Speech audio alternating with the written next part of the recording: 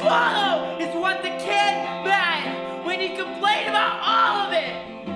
The ease of an important procedure and how everyone everywhere was always, mostly often, laying down on him, meaning, crushing, killing him. But I want none of it.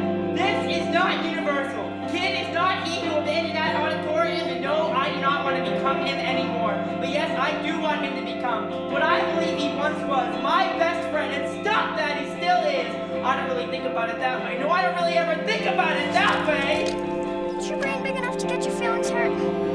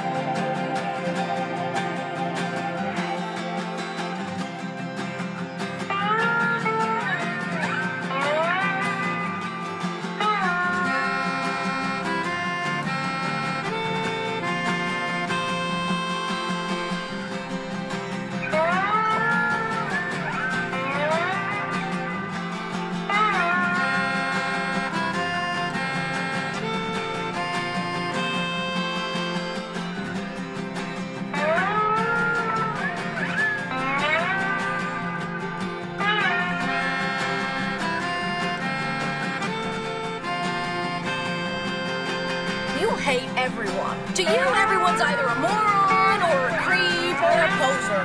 Why do you suddenly care about their opinion of you? Because I'm shallow, okay? I want them to like me. Shut!